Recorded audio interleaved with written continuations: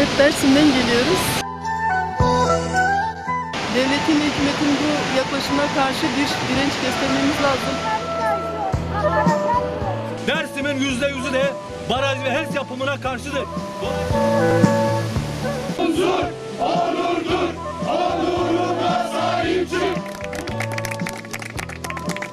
Çepeçevre Yaşam, Özer Akdemir'in sunumuyla Salı akşamı saat 20'de Hayat Televizyonu'nda.